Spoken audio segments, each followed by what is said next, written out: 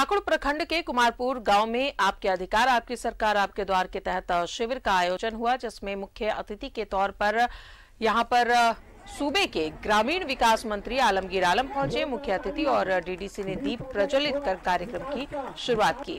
यहाँ मंत्री ने परिसंपत्तियों का भी वितरण किया और अपने सरकार की उपलब्धियाँ भी गिनवाई। लोगों को चिन्हित करके घर नहीं करने का वैसे लोगों भी हम लोग दे सकते दूसरा वैकल्पिक रास्ता भी हम लोग खोज रहे हैं और मुझे लगता है कि इससे बहुत आदमी का कहना था कि मेरा नाम रहने के बाद भी मुखिया ने हटा दिया ब्लॉक गए तो वहाँ हटा दिया। तो कम से कम वो शिकायत तो हमने काम किया।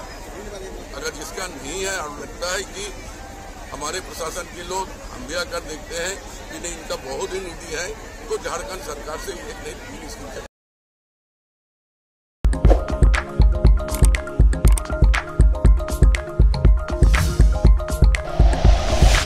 like and share videos, subscribe करें हमारा चैनल और प्रेस करें बेल आइकॉन न्यूज़ 11 भारत सच है तो दिखेगा।